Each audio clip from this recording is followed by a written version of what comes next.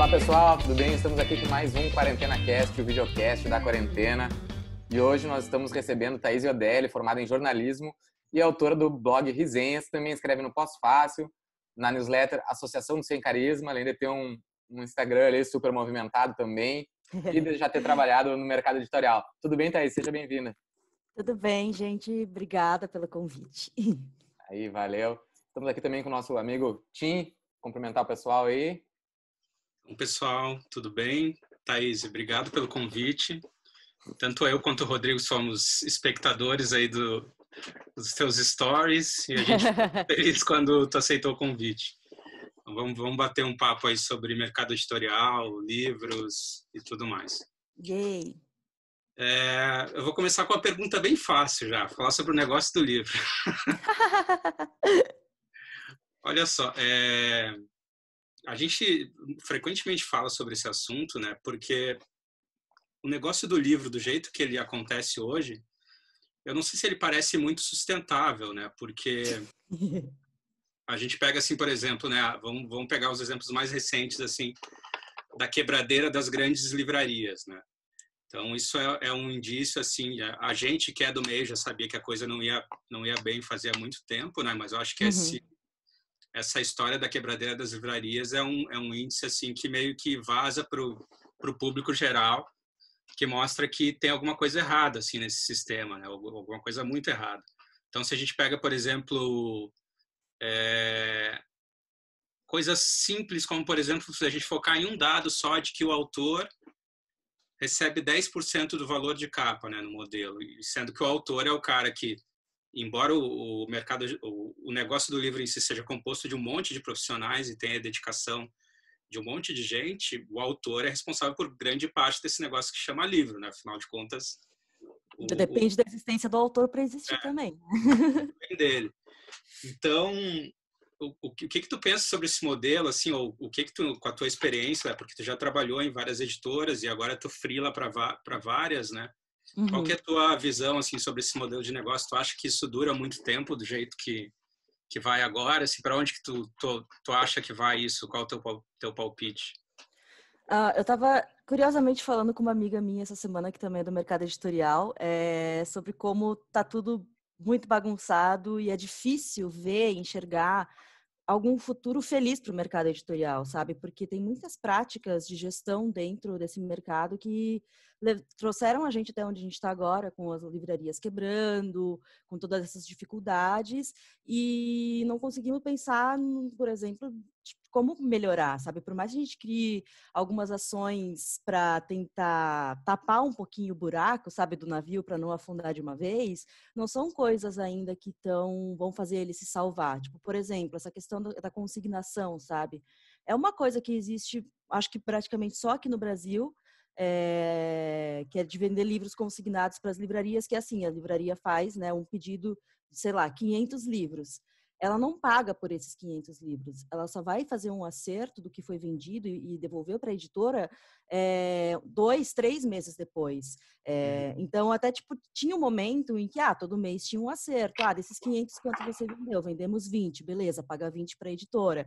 Só que conforme foi aumentando a crise, é, conforme foram tendo mais dificuldades, as editoras estavam ampliando muito o prazo de pagamento. Então, era muito comum você ter é, uma Saraiva, por exemplo, é, tendo 90 dias de prazo para pagar os livros para a editora, e ainda não consegui pagar dentro desse prazo, pedi mais prazo para conseguir pagar. Então, imagina quantas editoras ficaram meses sem receber de um dos maiores livrarias do país, por má gerência deles, sabe? Então, é uma coisa que eu não vejo assim com, com muito otimismo, porque é, ao mesmo tempo em que está ali a Amazon, a Amazon está conseguindo pagar todo mundo direitinho, porque né, a Amazon tem dinheiro, só é a empresa do cara mais rico do mundo. Se ele quiser pagar as pessoas para fazer nada, ele pode, né? Só isso. Aí fica fácil, não tem como competir, né? E só que o pior mesmo é que a Amazon trabalha direito. Esse é, é esse aí é um problema, um sabe? Que a gente, enquanto independente, é, a gente, bah, fica, pô, vamos lá ajudar as pequenas e coisa e tal. Mas a gente que anda, às vezes, com o livro embaixo do braço, deixa nas pequenas e se ferra com as pequenas também, né? Então, tipo, bah, Amazon, Sim. todo dia, 29 do mês, eu recebo ali os, os e-books lidos, os livros vendidos, enfim. é um, é um, é um dinheiro que, que, tu tem uma expectativa que tu sabe que não vai ser frustrado, pelo menos por enquanto, né? E, e é bizarro porque quando a gente pensa nas grandes livrarias, assim, nessas redes, né? É, eles ao longo do tempo, ao longo do, do, dos últimos anos, eles tiveram que ir expandindo o negócio assim que livro virou só mais um negócio dentro das lojas para vender, né? Exato. E mesmo assim os caras não conseguiram se manter, sabe? Mesmo assim tá quebradeira. Então é, é, é bem, é, é bem pessimista. Teve, teve um momento de grande otimismo, né? Que foi ali no, no comecinho de 2010, eu acho, que daí tinha, sei lá, em algum momento tinha apenas duas livrarias culturas no Brasil inteiro. Eram as livrarias mais famosas do Brasil, é, tipo, lojas lindas, maravilhosas, todo mundo frequentava, vendia bem. O pessoal Tinham que livreiros qualificado, né? Isso que eu ia dizer. É, um pessoal que era qualificado que lá vendendo, sabe? Tipo, pessoal que conhecia, o pessoal ganhava bem naquela época também. Aí acontece isso, né? Nossa, estamos indo super bem, vamos fazer o quê? Vamos abrir mais loja, vamos comprar a livraria pequena, vamos abrir, vamos abrir. É, é um mal tipo do capitalismo em geral, é, né? Eu vejo. É, a gente não fica satisfeito quando chega num patamar bom, a gente quer sempre crescer, né? Que eu acho já errado, não, não se mexe em time que tá ganhando, começa por aí. E aí, quando veio a crise, mano, veio forte, porque não era só uma questão é, de nossa, estamos vendendo menos porque as pessoas estão ganhando menos. É uma, uma questão de má gestão. Gastaram demais para abrir loja, gastaram demais para trazer outros produtos para dentro da, da livraria, começaram a, a não cuidar tanto da equipe, daí, tipo, vamos cortar custos, primeira coisa, mandar o livreiro bom que conhece os livros, que sabe vender embora, e contratar um livreiro que não conhece tanto, sabe, ou que vai demorar para conhecer, pagando bem menos. Então, tipo, isso vai afetar diretamente na venda. Porque a pessoa, muita gente vai na livraria sem saber exatamente o que quer comprar, quer lá conversar com o livreiro, quer conhecer coisa nova. E é bom, né? É, e é uma, a maior, melhor parte da experiência é isso, sabe? E é, e é o grande diferencial que uma livraria física tem com a Amazon. Você não chega com na certeza. Amazon e, e, tipo, tem um livreiro lá especialista para te explicar, sabe? Tem um algoritmo ali te mandando um monte de, de livro aleatório com base nas suas pesquisas. Exato, tem o algoritmo e tem, no máximo, se você tiver paciência e gosta de ler, as avaliações dos leitores. Mas, assim, você quer ainda alguém especialista, sabe? Você quer alguém que entende, que consegue indicar umas coisas com propriedade. E esse era um diferencial que eles tinham que simplesmente acabou por ganância deles, sabe? E, e eu sempre falo isso, o problema, ah, mas a Amazon matou as livrarias grandes aqui no Brasil. Não, não matou. Quem se matou foram elas mesmas. Ela ajudou a botar um preguinho no caixão porque fazia Sim. o trabalho direito e entregava é. mais rápido e fazia mais desconto, porque a guerra de preços é muito muito foda assim de lidar. Mas a maior parte do problema era a má gestão deles mesmo. É, e também o problema não é a Amazon matar as grandes livrarias, né? O problema é a Amazon matar as pequenas. É. Aí eu até acho que, que faz sentido a crítica, né? Porque é uma, pra, uma competição que, não, que é muito difícil para as pequenas né, se equiparar simplesmente pelo preço que a Amazon consegue colocar nos livros, não, né? não a diferença é, é absurda.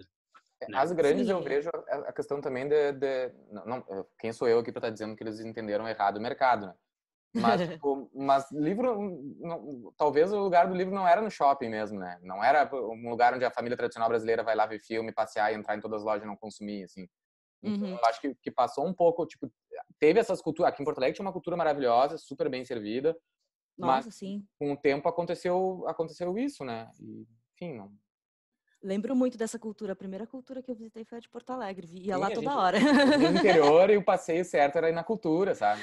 Sim. Não, tipo, não, sei se essa é questão de shopping, porque dependendo do shopping até tem um bom público tem um... que consome e tudo mais. Só que é, é uma questão também, tipo, para manter a, a, a livraria independente, por exemplo, funcionando, ela não consegue competir em preço com a Amazon ela vai competir de outras formas. Ela vai competir com um ambiente aconchegante, uma curadoria bem feita de livros, tipo, ser especializada e tudo mais. Mas o maior problema da Amazon, além de todas as questões éticas da empresa, né, de questões de trabalhistas e tudo mais, é ela acabar virando realmente a única maior fornecedora, é, tipo, maior parceiro das editoras na venda. E, e, eu lembro que quando eu, eu, trabalhava na Companhia das Letras, logo quando eu cheguei aqui em São Paulo e fui trabalhar lá, era 2014, a Amazon ainda não tinha chegado de vez no Brasil, porque as negociações estavam trancadas justamente porque as editoras tinham medo de que ela pegasse grande fatia do mercado. É, então, elas não queriam depender da Amazon. E acabaram fazendo muitas ações com cultura, com Saraiva e tal, para não priorizar a Amazon para elas não ficarem reféns dela. É, porque era justamente isso, a Amazon chega baixando o preço lá embaixo, sendo que ela compra o preço pelo preço, é, o livro pelo preço cheio, ela né? Paga assim, o preço. Ela passa, ela paga, ela tipo, ah, a gente comprou, quando uma livraria compra um livro da editora é 50%, né? 50% do valor é, uhum. o que eles é, vai para eles. É, a Amazon bota 30%, 70% de desconto e ela não vai estar tá perdendo esse dinheiro, porque ela tem capital para vender. É, é, isso aí é, é porque ela vende né? tudo, tudo, que existe no mundo, ela pode se dar o luxo de vender livro barato. É. Né? Ela Exato, pratica dumping, só que é, um, é, uma, é uma coisa ruim né, para o próprio mercado, né? Muito ruim, porque daí sai, todo mundo vai lá, ah, eu vou comprar na Amazon porque é mais barato, e, e daí tem essa, né? A gente já não tem uma cultura de valorização do livro no Brasil. Todo mundo acha que um livro de 300 páginas custando 40 reais é caro. Não, é muito barato um livro desse, desse tamanho com esse preço, sabe? Então já tem essa, esse negócio. Todo mundo vai na Amazon porque sabe lá, que lá é mais barato. E, mas aí depois, tipo, vamos dizer que daqui a cinco anos, a Amazon é a única que está vendendo e pagando as editoras direito. Eles vão começar a querer pagar menos para as editoras. O problema Sim, não é, ai, é, eles estão vendendo menos e estão perdendo dinheiro. Não, eles vão fazer as editoras perder dinheiro depois, é. porque eles vão ser E depois não vai ter, é, e não vai ter opção para as editoras daí, né? É, daí, tipo, temos que vender para a Amazon, não tem o que acontecer. Daí a, a Amazon vai querer pagar 30% do valor do livro para uma editora. E uma editora já não consegue pagar as contas com aqueles. 50. É, tipo, com os 45, 30% que. Não, 40% que fica com ela, porque 10% vai pro, pro autor, né? E já uhum. não tá dando, já não fecha as contas. Já, já é um mercado que não. Eu sempre falo, o pessoal me acha radical às vezes. Para o mercado editorial brasileiro se, se arrumar e tudo mais, ele tem que explodir, acabar e começar de novo. Começar do zero. do errado. É, tem, tem um amigo meu que tem uma, uma livraria pequena e ele fazia um negócio interessante, mas claro que, tipo, vai contra o jeito que o mercado do livro funciona no Brasil, porque, tipo, aqui é meio que é, é consignado, né? Nos outros lugares do mundo, como é. tu disse, não é. E ele diz assim: Olha, eu conheço meu público, eu sei o que, que eles compram. Então, quando a Amazon faz um desconto de 70%, eu compro da Amazon, invisto dinheiro e vendo a preço capa. Então, ele, ele. Mas claro que ele tinha um, um capital para fazer isso. Para fazer isso. Né? Dentro né? de algum dos nichos dele, assim, né? Não, e a gente, tipo, fala, né, a Amazon, nossa, esse bicho horrível do capitalismo, realmente é, né? Tudo no capitalismo é horrível. E aí, e daí, só que daí tem essas coisas, né? Eles têm um marketplace dele que as livrarias menores é podem legal. entrar lá dentro, podem oferecer coisa legal, sabe? É, eles têm um espaço para os outros ainda. E não é que fica lá escondido, não. Às vezes o primeiro resultado é de uma livraria independente que está oferecendo o livro lá dentro, né? Então, tem formas de trabalhar em conjunto com eles. Mas é isso, é sempre com muito cuidado, sempre com muito receio de, nossa, o que, que vai ser no futuro? E o problema é que muitas vezes as pessoas, é, até dentro de editoras, não percebem às vezes muito as oportunidades que existem também, sabe? Porque a forma que, principalmente, divulgação do livro é feito ainda aqui dentro do Brasil é uma forma de 30 anos atrás, sabe? É, parece que falta ainda muito caminho para eles aprenderem, tipo, como trabalhar tecnologia, como fazer direito. Uma coisa que lá no, no, no, na Inglaterra e nos Estados Unidos é uma coisa super. Por mais que lá também acho que tenha tido problema de queda de vendas e tal, mas pelo menos eles são muito mais organizados e eles têm processos. Aqui não tem processo em lugar nenhum, tipo, não tem processo dentro das livrarias, não tem processo dentro das editoras. A única que tem processo e que funciona por ter um processo definidinho é a Amazon. Então, tipo. O que será, né? o que, que a gente vai fazer, sabe? Essa questão eu ia até te perguntar, assim, tipo, porque tu, tu já tem uma, uma, uma, experiência ali como freela agora, bastante tempo, trabalha no Instagram, que eu acho super legal. O, e o pós-fácil que voltou agora, depois de, de algum uhum. tempo parado, enfim, né? Até é um, é um negócio interessante como o blog tinha caído e agora as pessoas estão querendo ler conteúdo mais aprofundado de novo, enfim, com, com mais caracteres, assim, fora do, do Instagram. E, e, justamente, assim, é, é, talvez um pouco dessa, da, dessa falta de, adorei o que tu falou, a falta de, de processos dentro das, da, do sistema literário está fazendo com que o escritor independente, pela sua situação independente, assim, de, de, de ou se vira ou, ou, não acontece, meio que com, tá, está conseguindo entender mais os processos e a comunicação e do, do que a própria do que as próprias grandes editoras assim né eu vejo escritores uhum. grandes editoras reclamando bah mas a gente não está conseguindo como é que tu está fazendo então eu vejo que talvez o escritor mais antigo deixava muita coisa na mão da editora, e, e com razão, né? Porque faz parte do, da prestação de serviço deles, do contrato, mas acabou que a editora ficou um pouco ultrapassada e, e isso acaba prejudicando muito do, do escritor contemporâneo que está aí tentando e a editora não está fazendo por onde, né? É, eu vejo, tipo, é, é muito uma, um problema de, de visão e de acompanhar as mudanças, né? Tipo, obviamente, a editora ainda é super importante por todo o trabalho de edição Sim. que faz, com todo, tipo, todo o cuidado que tem e tal, mas os autores que estão fazendo sucesso na internet agora estão fazendo sucesso porque eles entenderam a internet. Primeira uhum. coisa é isso. É, o, mesmo sem gastar nenhum dinheiro, só sabendo se comunicar com o público, ele já consegue ter um salto muito maior. E as editoras acabam até procurando esse tipo de autor, às vezes, para trabalhar, sabe? Porque já tem um público formado. É, já as editoras não, eles ainda acham que vale a pena pagar 40 mil reais para fazer um anúncio num aeroporto. Bah. Quem é que vai comprar um livro uhum. que viu no aeroporto, sabe? Bah, com 40 é... mil reais tu faz tráfego pago na internet tu tem um... Exato, você pode fazer post patrocinado e pior, quer dizer, pior não, melhor, você pode pegar esse valor e dividir entre 20 influencers da é. área que combinam com o livro, pagar para eles falarem com o livro e vai dar resultado. Vai vender muito então, mais. Então, uh, por mais que, tipo, eu lembro que quando começou a entrar as editoras na, nas redes sociais e se comunicarem mais com as pessoas, era ali em 2010. Eu lembro que foi a Diana que me trouxe aqui para São Paulo, que era da companhia da época. Ela, tipo, introduziu na Companhia das Letras, por exemplo, blog e redes sociais na Companhia das Letras. Você nunca conversava com a Companhia das Letras. O intermédio era a imprensa. Você via, ou, ou, a livraria, né? Você ia na livraria e conhecia a editora porque o livreiro indicou, ou você lia no jornal que a editora tal publicou um livro. Agora você tinha um contato direto. E isso melhorou muito, porque daí as pessoas começaram a a, a, associar a marca com a qualidade do livro, sabe? A perguntar, a ficar curioso, a se aproximar mais, a saber melhor dos lançamentos e tudo mais. Só que tem ainda é uma coisa que parece que é uma via de mão única, do tipo, receba aqui a informação, mas não vamos pegar outras pessoas do mesmo meio para ajudar a fazer essa divulgação também, sabe? Tipo, ainda dão mais peso para o jornal, para um anúncio na Folha, para um anúncio na Piauí, do que a um post de um influencer que fala sobre aquele tipo de livro, que realmente lê, que realmente faz um, um, conteúdo mais aprofundado sobre a obra, que tem gente que diz, nossa, por mais que seja uma, duas pessoas que digam que compram o livro porque a pessoa falou, é uma ou duas pessoas que, Sim. mano, vão com certeza ler e vão falar para os outros e vai ajudar a espalhar.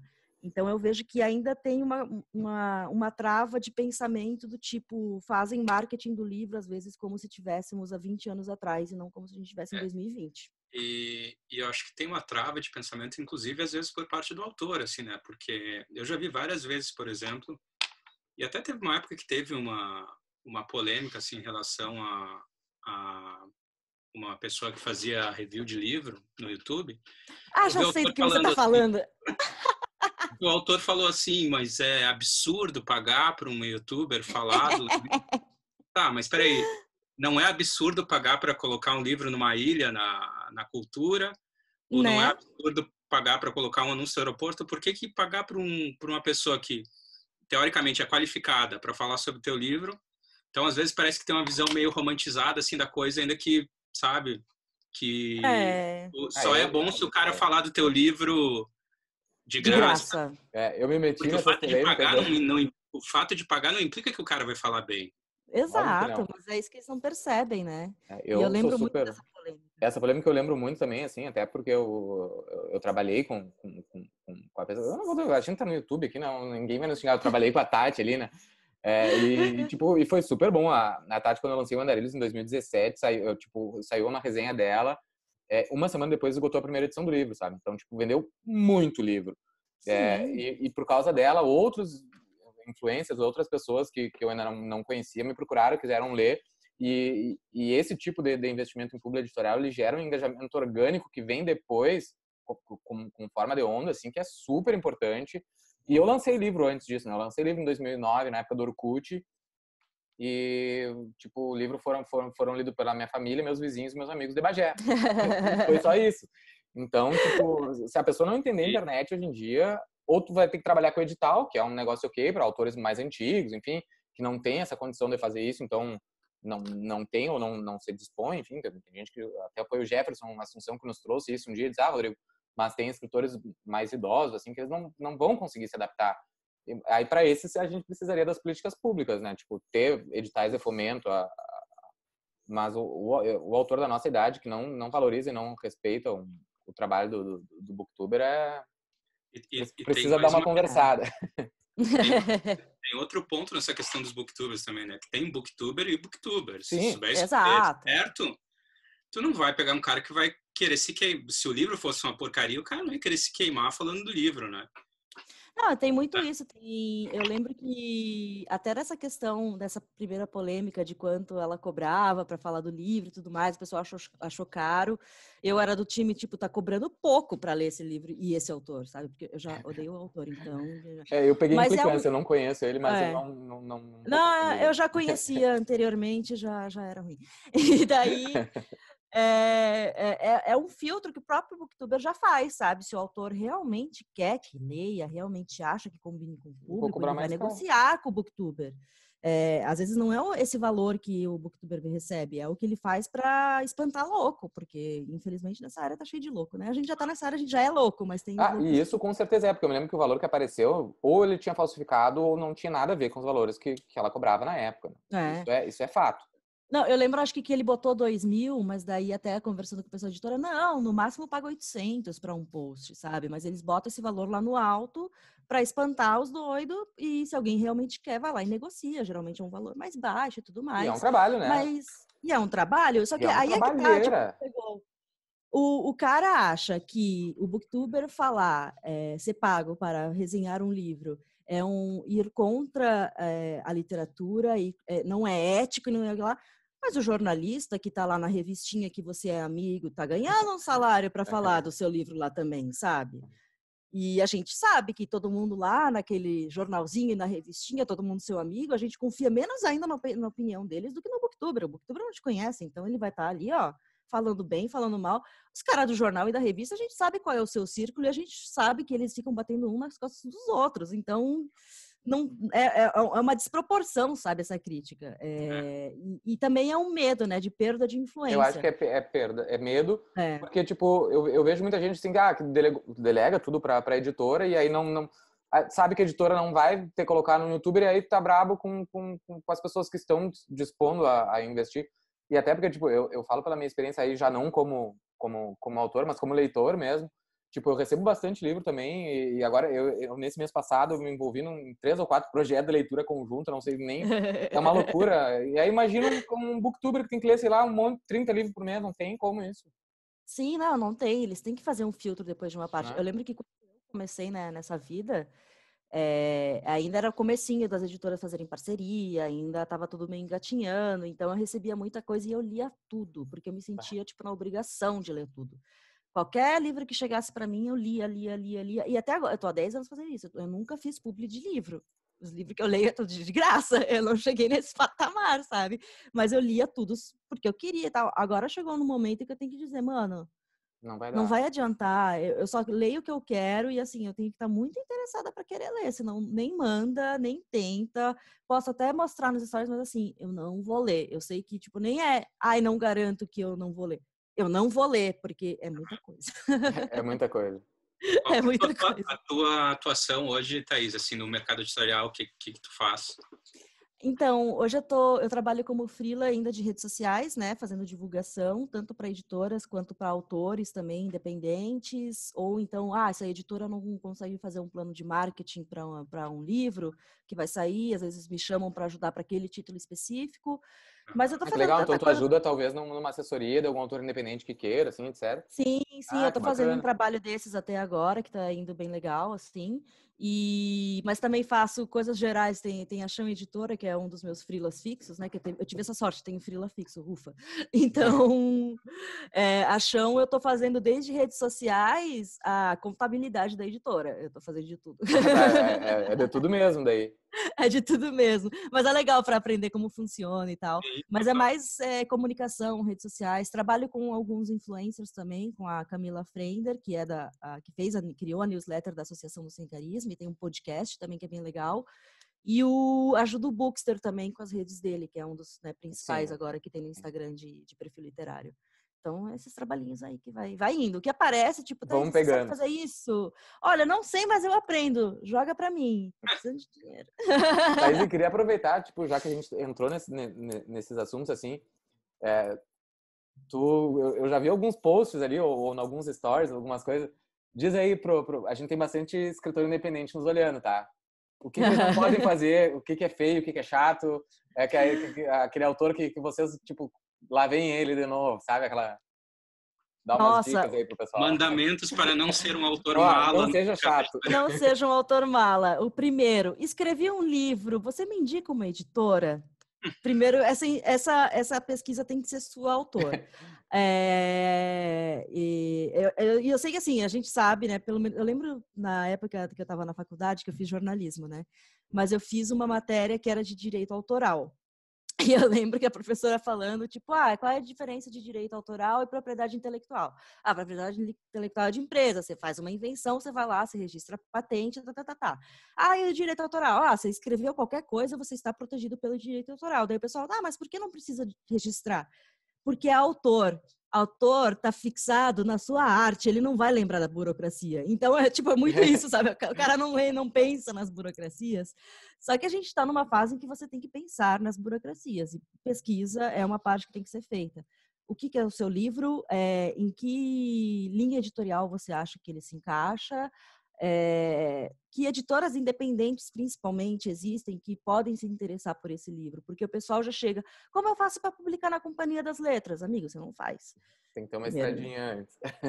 Diz, é, tem, é, e, e, é melhor para o autor independente ele ser publicado também primeiro por uma editora independente do que uma editora grande.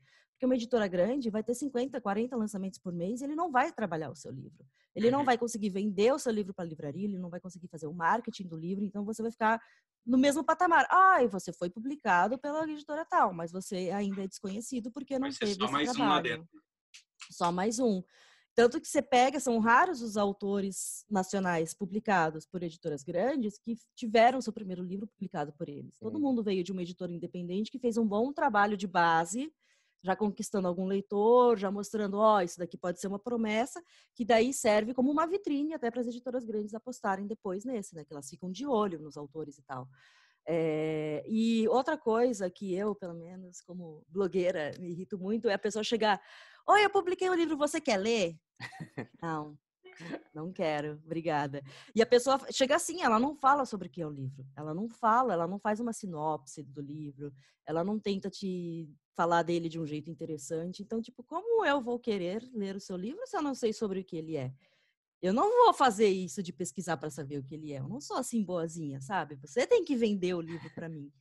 Então, e isso serve também para editoras. Quando você manda um original, você tem que vender o livro para a editora também. Você tem que fazer uma carta de apresentação, você tem que fazer uma sinopse, você tem que fazer às vezes até um resumo do livro. Isso não está antiquado, né? Não, não tá antiquado, mano. Você tem que vender mesmo, sabe? E não é, nossa, mas eu sou um, um gênio novo hum, que não foi descoberto ainda. E assim que as pessoas forem ler o meu livro, elas vão descobrir que eu sou um gênio. Primeiro você tem que convencer a pessoa a ler o seu livro, né? Ela não vai chegar, nossa, eu acho que isso aqui é uma promessa só lendo o título do livro e começando a ler. Então, é muito de ter essa coisa de pensar realmente aonde seu livro se encaixa e falar do diferencial, falar sobre o que, que ele é, realmente fazer as pessoas se interessarem do mesmo jeito que um trailer de um filme faz você ficar com vontade de assistir esse filme, sabe? Ninguém vai no cinema às cegas, às vezes, assim. Então, tem que ter esse trabalhinho, não é só escrever e pronto, aí acabou. E esse é um mal da época também, um mal Sim. da época. É, você tem um autor bom hoje, ele faz um automarketing, ele faz a construção do público dele, ele se comunica com esse público. É, só funciona se você for a Helena Ferrante. Ainda você não precisa fazer nada disso, mas você não é a Helena Ferrante. Então, tem, tem mostra a cara cabeça. e faz, né? É, você não é, você não vai ser o Salinger isolado em casa, só escrevendo, mandando para alguém e pum, sucesso. Não, você tem que mostrar a cara, você tem que interagir, você tem que dá, tra dá trabalho, né? Tem, dá trabalho. Tem, tem, que trabalhar. Tá eu, eu, sempre lembro do Marcelino dizendo, ah, tem uns alunos aqui da oficina que, tipo, eles, eles não escreveram o seu primeiro conto e estão pensando qual vai ser o salgadinho do lançamento. Não, dá trabalho antes, né? Exato, mano. Primeiro você tem que terminar de escrever o livro, depois você faz os corre para conseguir ser publicado. Aí você pensa no lançamento. E é capaz de nem ter salgadinho, porque nenhuma editora tem dinheiro para pagar o salgadinho. É, salgadinho só se o... alguém ajudar aí. Só se alguém ajudar, né? Consi conseguir não ter, capaz de não ter, inclusive, ninguém no lançamento também. também, nossa, mano, pior é coisa é. não ter ninguém no lançamento. Me dá uma dó. É que ela só tem uma amiga que diz, ah, Rodrigo, tô muito preocupado em lançar o livro, assim, o que a crítica vai achar, se vão me criticar muito. De... Esteja preparada para o silêncio. o que é. é, se não é silêncio, já, já tá no lucro. Porque se falar mal, já estão falando, já, já tá estão falando, já foi lido. Mas se ficar quieto, mano, aí... Sim. Realmente. Ô, Thaís, queria voltar num, num, negócio que tu puxou de leve, assim. É, eu tenho a impressão que o mercado editorial, assim, ele é um universo minúsculo onde todo mundo se conhece, né? Porque, afinal de contas, é. não são tantas editoras assim, né? Claro, tem várias editoras pequenas e médias, mas mesmo assim não é um universo enorme, né? Uhum. Isso leva a percepção, assim, de que tem, às vezes, um protecionismo muito grande do, do mercado em si, e, e, que tem uma panela, às vezes, que é difícil de furar, né? Sim. É, como, como que tu enxerga? Te, já passou por situações, já presenciou isso? Ou tu que tá... Porque eh, tem, tem outro, outra coisa, assim, por exemplo, né? Eu já, eu já te vi falando várias vezes, várias vezes não, mas já te vi falando sobre a tua entrada no mercado editorial, como tu fez, né? Uhum. Só que a perspectiva do autor talvez seja é, um pouco mais complexa, né? Porque é outra dinâmica, e são outros objetivos, né? O profissional que está tentando entrar para trabalhar no mercado, no mercado editorial, ele quer uma coisa, e o autor quer publicar. Como que tu enxerga essa história da panela, assim, e, enfim, da perspectiva do profissional e da perspectiva do, do autor? É, é panela sempre existiu, né? É uma coisa desde sempre e pelo menos há um tempo atrás, o mercado editorial era muito Rio de Janeiro e São Paulo. Então, era muito. Se você estudou na USP, se você estudou na PUC, na, a USP entrou mais agora, assim, no mercado editorial, mas você, se você era da PUC e fazia letras, ou jornalismo, ou, e gostava de livro, as suas chances de entrar dentro de uma editora eram altas, porque o pessoal valorizava muito a PUC. Aí depois você descobre, ah, não, mas é que a editora tal, ela é filha do negócio tal, que é amigo do editor tal. Então, é uma coisa, às vezes, muito familiar. Muitas editoras hoje ainda grandes são familiares, sabe? Tipo, é uma família realmente trabalhando e tudo mais, fazendo aquilo lá, que funciona muito assim por indicação. Ah, eu preciso de alguém para trabalhar aqui na produção. Você conhece algum diagramador? Ah, o meu sobrinho, não sei da onde, o filho que estudou não sei aonde. Ah, conheço. Então, bota lá para trabalhar. Às vezes não tinha nem.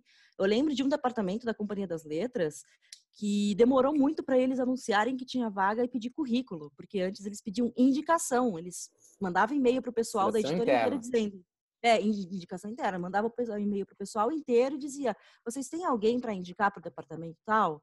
E era assim, e dizia, não, mas a gente pode divulgar no Facebook, no Twitter. Não, não vamos divulgar currículo, vai ser indicação interna. Porque é um mercado também meio complicado, às vezes. Você não precisa apenas saber fazer as coisas, você precisa conhecer os livros. Então. Eu fico imaginando uma, uma, editora abrindo um negócio para uma vaga, deve chover currículo de doido, né? Não, e, e chove currículo para tudo, né? Abriu a vaga de estágio da, da comunicação. Ah, mas eu queria uma vaga de editor. Amigo, pelo amor de Deus, amigo.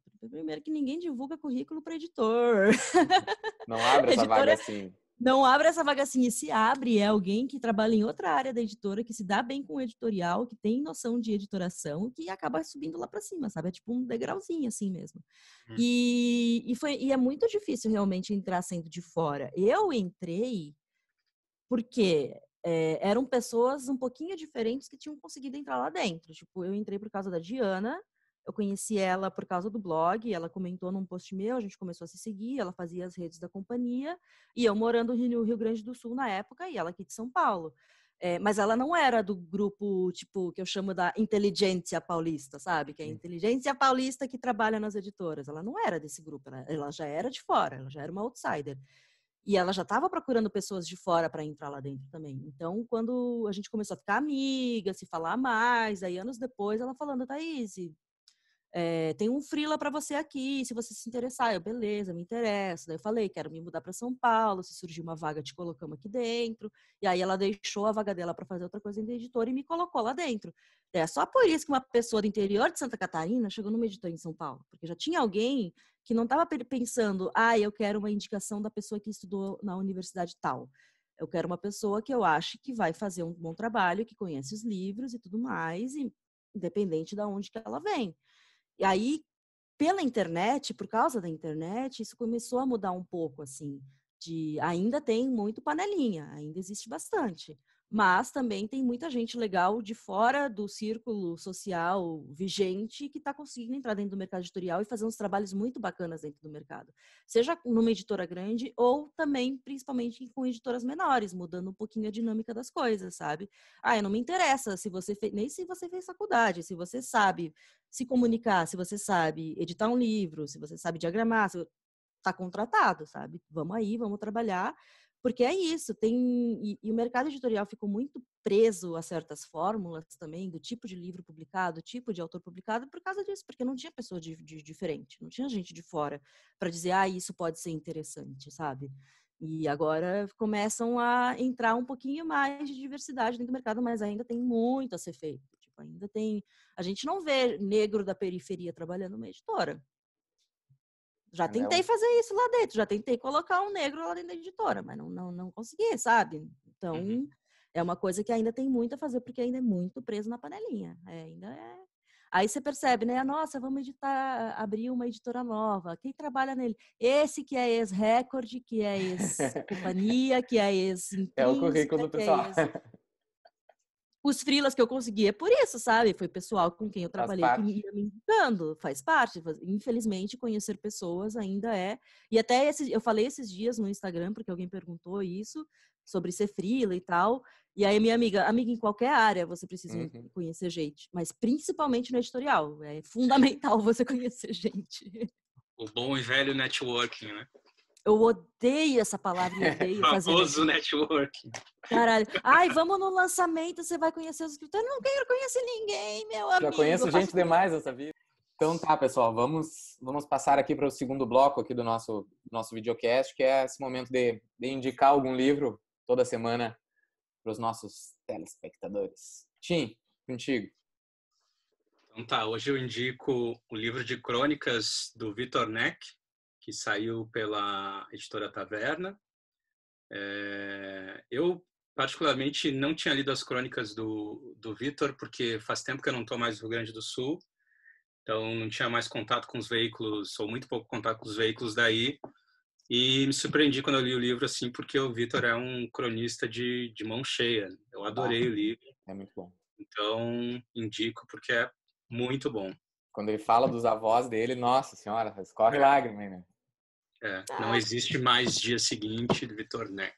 Eu já amei esse título. É bonito, é, né? Tipo, a capa é bonita. Né? É muito bom. Thaís, o que, que, que tu nos apresenta aí? Yay! Então, eu vou até combinar com o meu look amarelo, vermelho. Cara, tá igual, eu propósito. tá igual, eu não planejei isso. Ó.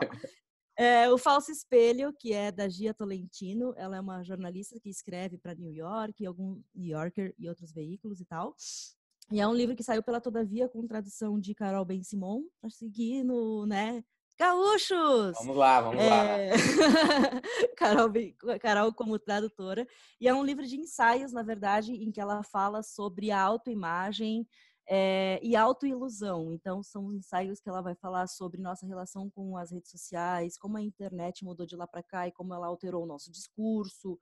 É, enfim, qualquer coisa em que a gente usa para se enxergar ou para criar uma imagem nossa para o outro, ela discute dentro desse livro. Então tem desde esses ensaios sobre a internet, a reality show, porque ela participou quando adolescente de um reality show de competição, muito doido.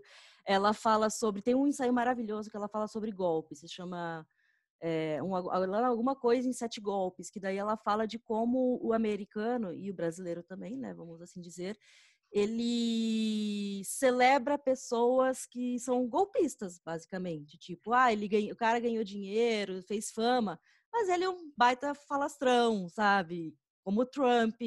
É, como o cara do Fire Festival lá, que tem um documentário maravilhoso. Ah, sim, o. Super doido.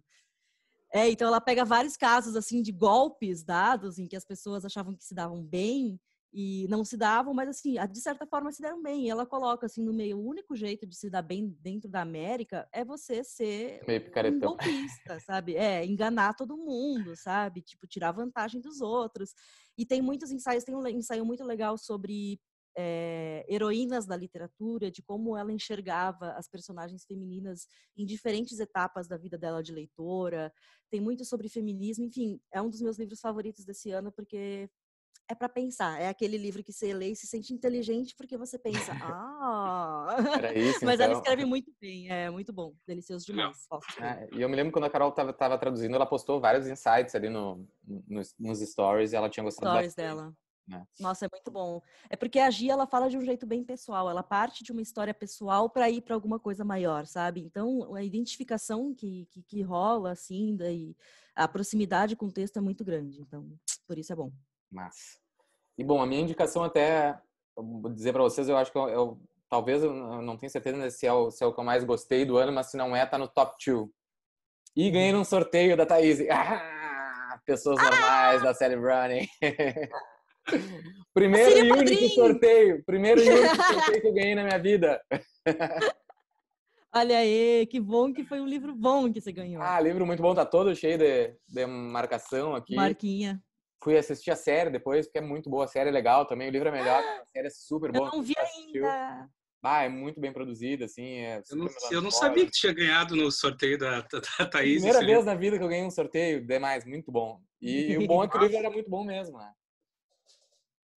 E então. Ele é muito maravilhoso. Sally a Sally. Eu quero o outro livro dela, mas está esgotado, então estou já pedindo aí para a Companhia das Ah, esgotou? Está esgotado. É conversas entre amigos, alguma coisa assim? Conversas entre amigos. Eu gosto mais do conversas entre amigos do que é? pessoas normais. Eu gosto mais, eu acho. Tá. Expectativas é... foram criadas agora com essa afirmação. É. Não, mas tem muita gente que acha o contrário. Gosta mais do pessoas normais do que conversas entre amigos. Então fica essa dividido. Capa, essa capa eu achei linda, assim. Bah, eu achei o livro muito bom, assim, muito bem traduzido também. A Deborah Landsberg. Uhum. Livro muito Maravilhosa. Bom. Então já fica a dica aí, pessoas normais, Sally Running vocês tiverem a sorte quando a Thaís fizer outro sorteio, participe.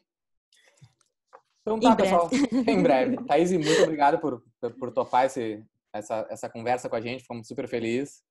Eu que agradeço, gente. Um recado aí pro mesmo. pessoal e estamos por ti.